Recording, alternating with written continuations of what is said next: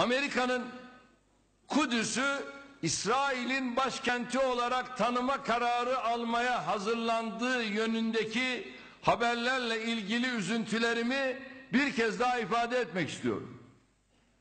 Kudüs, Sayın Trump, Müslümanların kırmızı çizgisidir.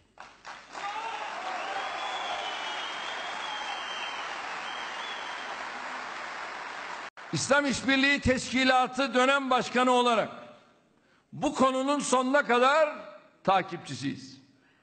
Eğer böyle bir adım atılacak olursa hemen 5-10 gün içerisinde İslam İşbirliği Teşkilatı Liderler Zirvesini İstanbul'da toplayacağız.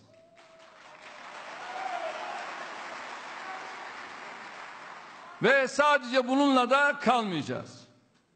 Bu liderler zirvesiyle beraber de çok daha önemli etkinliklerle tüm İslam dünyasını o zirvede hareketlendireceğiz. Bu bizim diplomatik ilişkilerimizi İsrail'le koparmaya kadar da gidebilir.